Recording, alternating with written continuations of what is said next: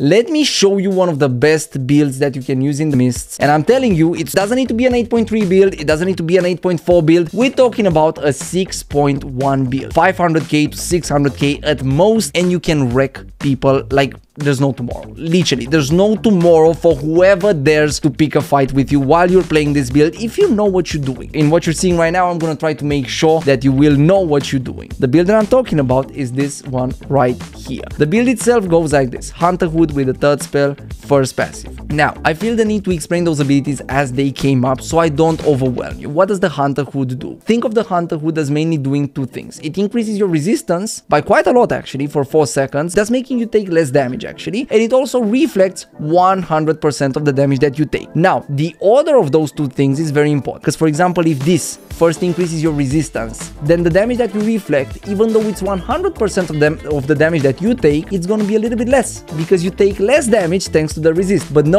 they go in the other way around. They first reflect 100% of the damage, and then they apply the resistance. Now, for you, all of those things, like both of those things happen at the same second, in the same exact time. But uh, in terms of game mechanics and what the game keeps track of, you actually reflect first, then you start with the resistance increase. Now this passive, this is normally the passive that you want to use for whatever build that uses leather armor or leather helmets. There are some exceptions, but generally you want to stick with this passive. This passive makes you deal more damage and it increases your defenses by a little bit. And then you have the mercenary jacket. Now what does this do? This makes it so every single time you deal direct damage, so non-dot damage, you will heal for 119 HP. Depending on the tier and depending on the spec that you have with this, your heal might be more or less. But it still heals you every single time you deal direct damage. Now direct damage is considered an auto attack.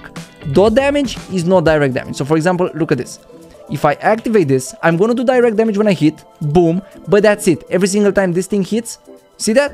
It hit, it did not heal me. I need to actually do, and like I need to actually go in and smack the mob myself. Keep that in mind, keep that in mind. Uh, but with the amount of auto attacks that you're going to be doing, it's not going to be a problem to uh, take full advantage of this. Then you have the, oh, and the same passive. Balance Mind is the same passive. O almost always you want to use that passive. Now you have Soldier Boots. Depending on what you encounter in the Mists or in the open world, because there's also a pretty good open world build, uh, not as good as for Mists, but still decent. Depending on what you meet, you might want to swap from the second F, which is the main one that you want to be on. This increases your move speed and heals you a little bit to the third F if you're using um, uh, soldier boots. Oh, and by the way, I think I forgot to say the name of this. It's mercenary jacket, this hunter hood, and those are soldier boots. What this does, it increases your move speed like crazy, and it's probably one of the one of the best getaways that you have in this game.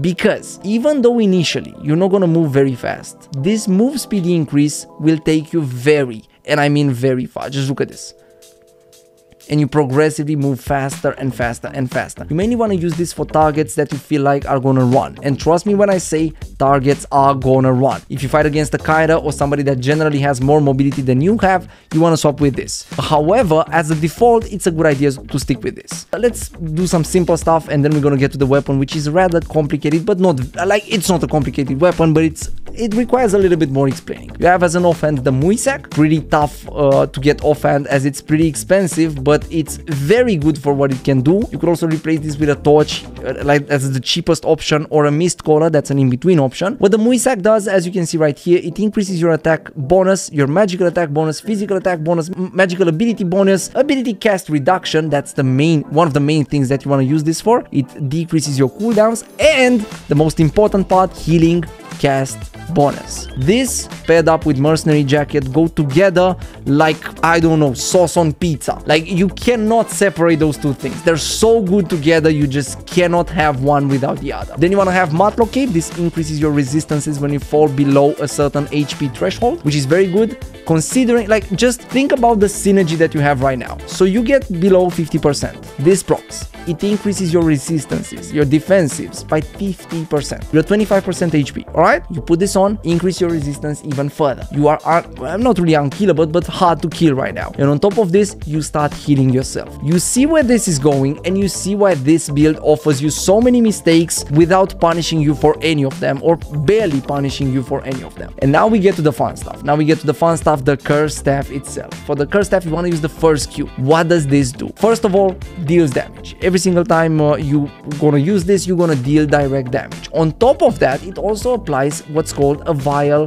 Curse charge. This is your main source of dot damage. And it's also your main source of direct damage when it comes to the E, but we're getting there. What you want to do with this, you want to spam it as often as you can. Make sure you also auto attack. You don't want to primarily focus on auto attacks, but try to auto attack whenever you get the chance and always use your Q. Like just spam your Q and make sure you squeeze in some auto attacks in there as well. Then you have this W. This is the default W. You might want to swap it depending on the situation, but generally this is what you want to stay on. Release a demonic beam in the targeted direction dealing 431 damage. So again, a damage dealing ability and the most important part, reduces damage resistances by 50%. Now why is this important? This is important because of how your E works. I'm gonna come back to the W after I explain the E.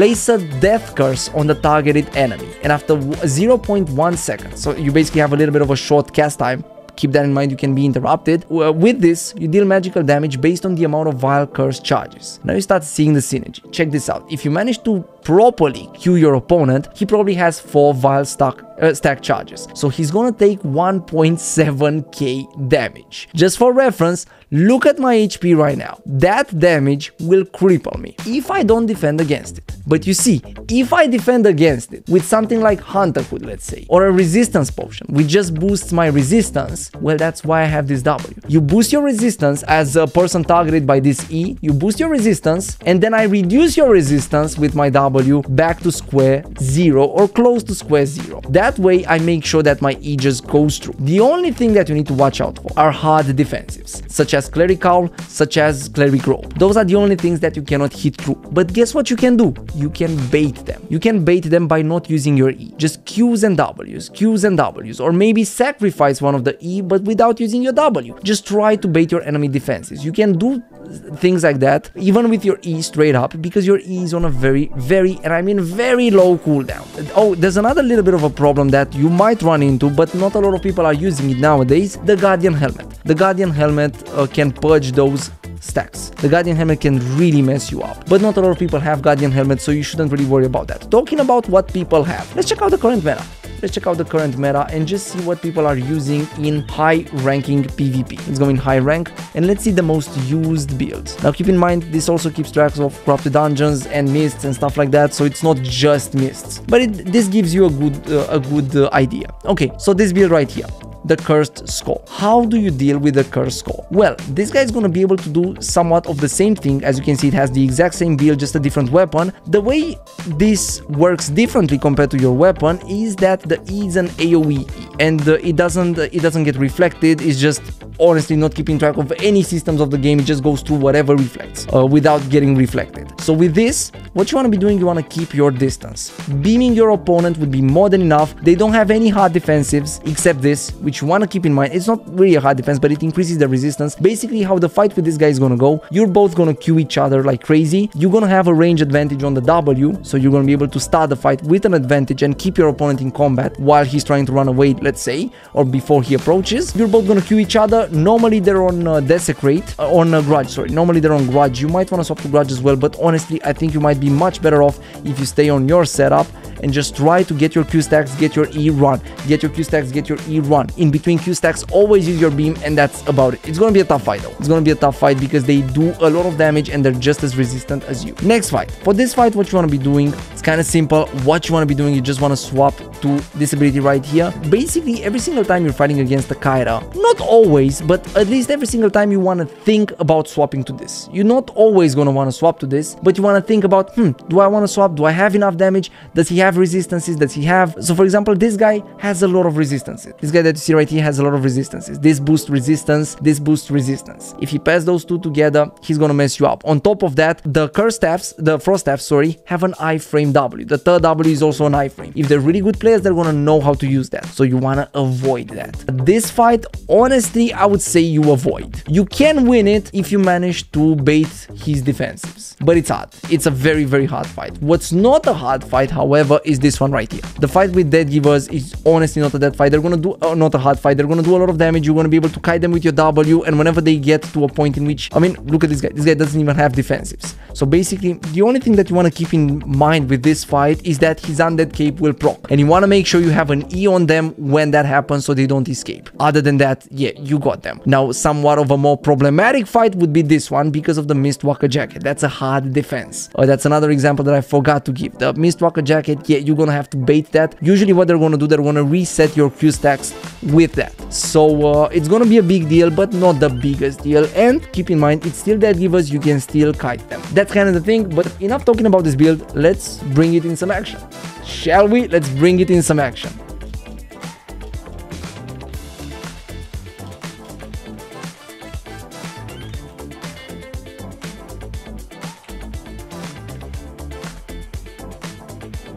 Nice, nice, nice, nice, nice. This guy's dismounted. Let's fight, my friend. I kind of messed up over there.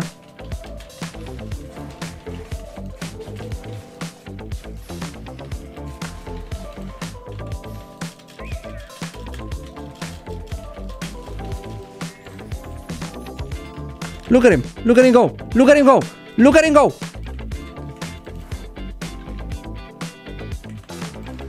He dead. He dead.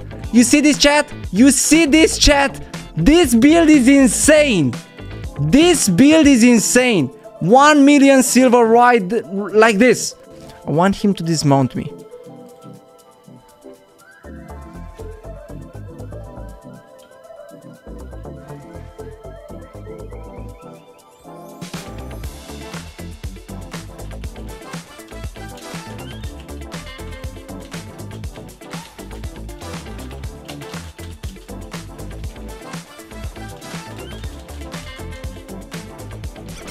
Ah, I missed that. I might actually die here. Oh no, I won't, I won't. I won't because I have the stupid cape. Let's go. Yo, I missed my W. I missed my W. That was a big miss because I relied a lot on the W. That's why I wanted to get low. I was like, okay, this guy is gonna attack. Then boom and E. But man, that was close. I missed my W.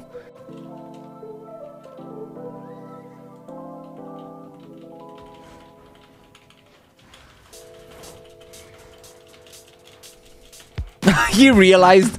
Oh no, he realized. Oh no. Oh no, now he sees it.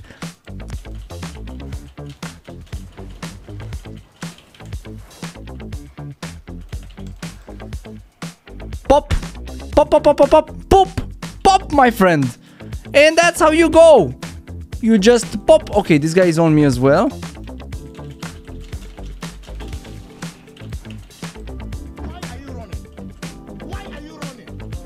I'm so mad that I don't have my F now. Come on, where you at, mysterious stranger? Just give me 19 seconds. Perfect, perfect, stay in combat. That's perfect, that's perfect. He doesn't realize it. Ah, oh, man, I need to get low. I need to get low. Please attack me like a few more times. Come on, attack me. Nice, nice. Oh no, I'm dying over here. Oh, danger, danger, stranger, danger. Oh no, oh no, this guy is killing me. Oh no, oh no, oh no, such a strong guy. Oh, how is he killing me? Oh, what happened? Oh, boy. oh what? You didn't die? Okay, okay, you're gonna die. Come on, come on, come on, come on, come on, come on. Give me, give me, give me, give me, give me what I need. Give me what I need. Give me my, my, my, my W. Perfect, perfect, perfect, perfect. Let's go! Let's go! Oh, that... Ah, man, the weapon trashed. But still, let's go! yeah, it is what it is. And there it is. I'm gonna try.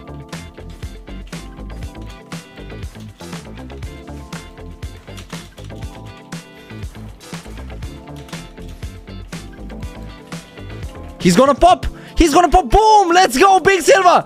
Woo! 700k right there in the bank. Let's go. I cannot hold any more items. I don't have any more items to hold. Watch us play live on twitch.tv slash Mogdone. This video was made possible by our amazing channel members. If you want to support by becoming a channel member yourself, you are gonna get access to amazing emotes that you can use in the comment section or during live streams, member-only polls, and lots of other awesome perks. Shout out to all of you awesome badasses. Thank you so much for supporting us.